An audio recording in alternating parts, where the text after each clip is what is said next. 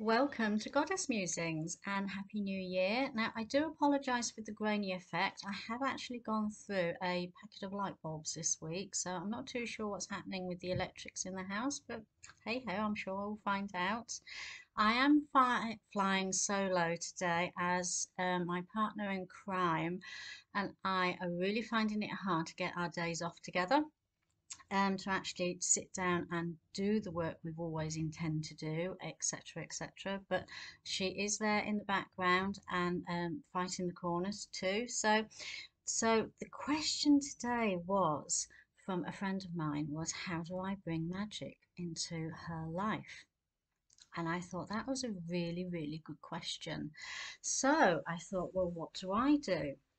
And actually, it does work with the new year. So, what we've always done within the new year is actually get rid of the old year, ready for the start of the new year, and that's exactly the same with magic.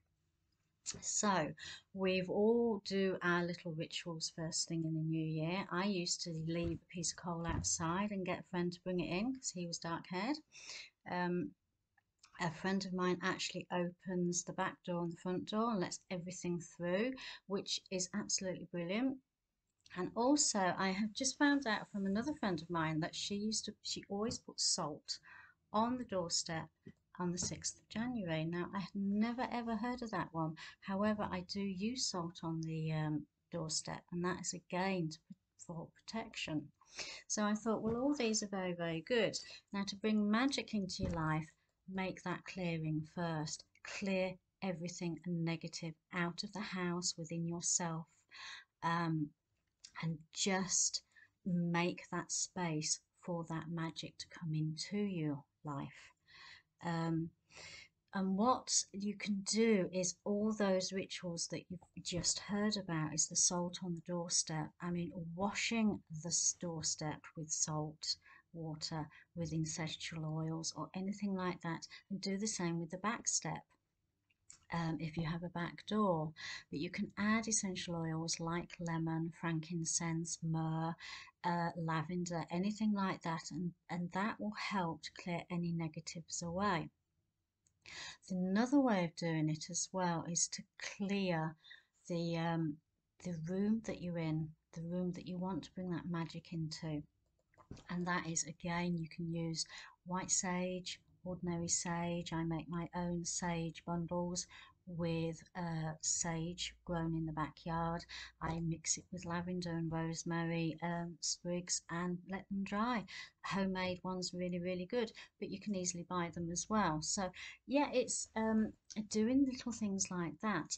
But salt is so important with anything to clear that negative energy away ready for the magic to come back into your life, into your environment.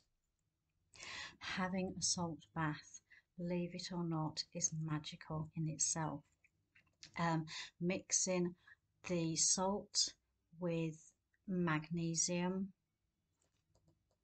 and also with some saltpeter and that actually breaks any patterns within um, that have built up over the years breaking a pattern and also these are patterns that people that have attached to you in the past.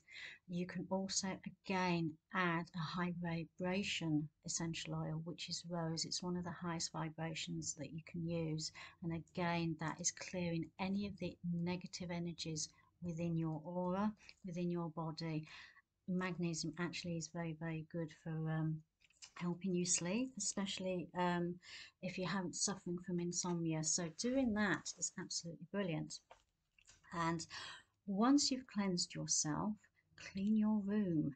Make sure there's no dust, there's no spiders' webs, there's no crumbs anywhere, fur from animals. Make sure that that room is lovely, lovely and clean. Anything with dirt attracts anything negative and I wouldn't actually um, say try and avoid doing that because it is so important. I have done nothing but clean today with my house because it's a, a day off it, so I've actually had the opportunity to do it. Make sure the windows are clean. Make sure that the sunlight's coming in. making sure that um, a natural light is so important for killing anything that's negative within your room. Once you've done that, that's when you can actually sit down and think, now is the time for that magical moment. You can put your music on. Any sort of music's absolutely brilliant. It's what you feel that raises your vibration, which is really, really good. So it can be um, anything new agey, it can be drumming, it can be rock music, it can be what is important to you for raising your vibration. I would actually emphasize here that it's a music that you wouldn't normally listen to in the car or just to relax to, just to make that difference between your magical moment and your everyday life. Once you've got that vibration working up, light a candle, light some incense, have some cards there next to you, whether they're tarot cards, oracle cards, anything that you think any part of you to work with. Another way of actually doing, if you're not going to do it in the house, is actually go out into the elements. The elements clear all sorts of energies around you to bring that magic into your life. It is important to get that fresh air, to get the light, and to actually work with the elements. We do tend to spend an awful lot of time indoors and it's not healthy. It's we need the vitamin D for our skin and for our um, and health. So if you can do it, go outside, definitely. Um, and then just see how you feel afterwards. Feel that vibration rising in your body. And once you start to feel that, work with the meditation, any meditation, but I will go through a meditation with you very, very shortly so that you can actually feel the difference, um, removing yourself from your mundane everyday life and then actually working on a different level. So I hope those are little pointers that will help you to work towards that magic. And I did actually advise all this with my fr uh, friend of mine that asked me today. So um, I'm hoping that she's going to go off and do some of this tonight for herself. But what I would like you to do is just put your feet on the ground. Um, pause everything right now if you need to, just to make sure that you've got that space and peace and quiet. It is hard in this this day in life, unfortunately, but yeah, you make that space for yourself. So, what I want you to do is take a deep breath and let it go. Put your feet on the ground. If you need to lie down, that's absolutely fine. But for a short meditation, it's just as good to be sitting in the seat with a chair back right up against you. Place your hands on your knees and have them open and close your eyes. And breathe in and out. Deep breath in and out. In and out.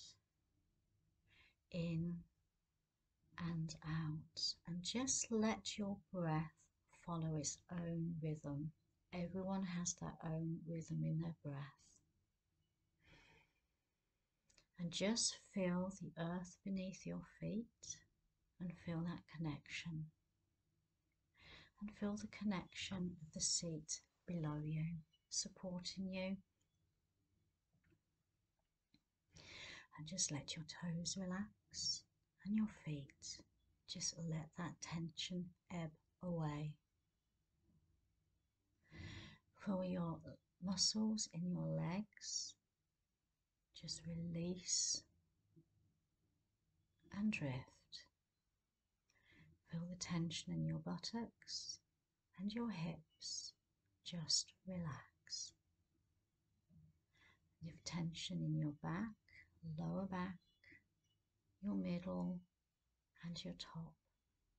Just feel that tension drift away.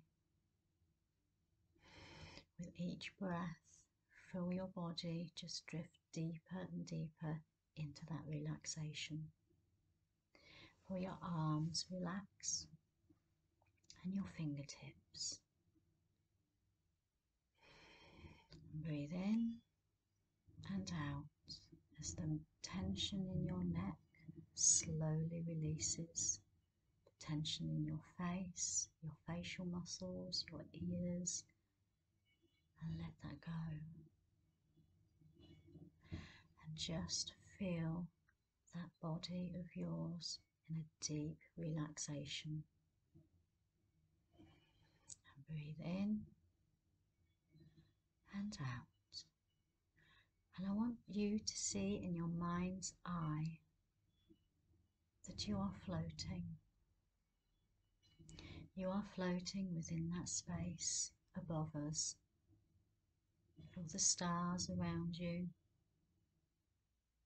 for the deep darkness.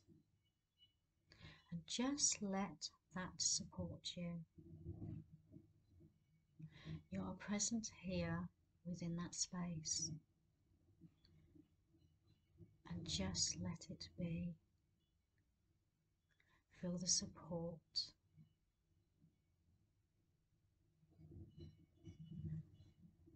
Take a deep breath in and then out.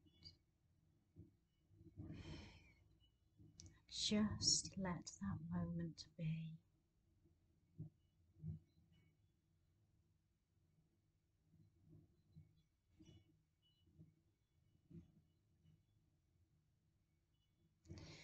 And as you take a deep breath in now, let your consciousness be aware of your body again.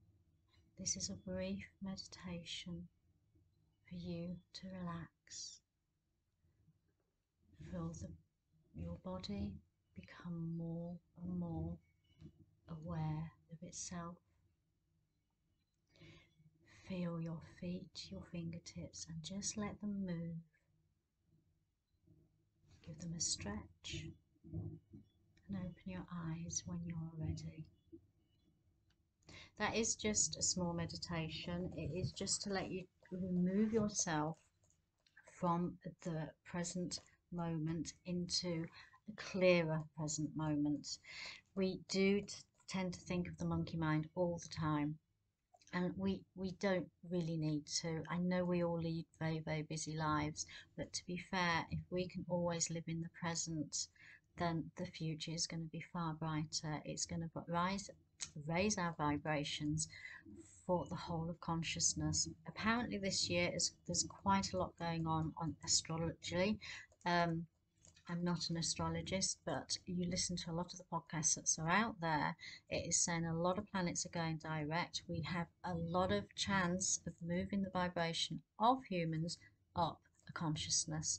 So I fingers crossed that if just one of us meditates, we are affecting at least 100 people, possibly more. I can't remember the figures, but if one person is meditating, that is absolutely brilliant. We are raising the consciousness of others, and that is always around us. So it's the closest people around us. So if we can raise that vibration, that is absolutely brilliant. Um, this is just a short one.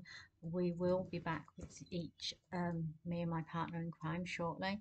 So fingers crossed that that is going to happen and look forward to seeing you.